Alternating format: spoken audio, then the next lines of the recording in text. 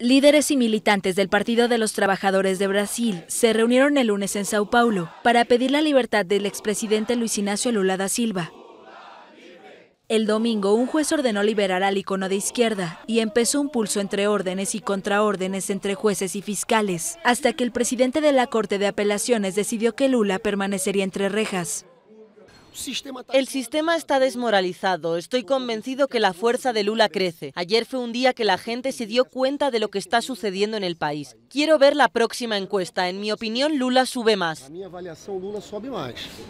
El expresidente, que purga desde hace tres meses una pena de más de 12 años de prisión por corrupción, encabeza las intenciones de voto para las elecciones presidenciales de octubre.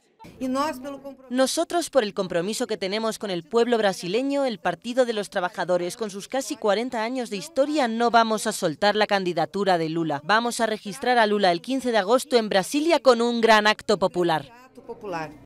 El Partido de los Trabajadores también busca definir el calendario hasta el 15 de agosto, fecha límite del registro de los aspirantes a la presidencia, en un momento en que la candidatura de Lula tiene grandes posibilidades de ser invalidada por la justicia electoral.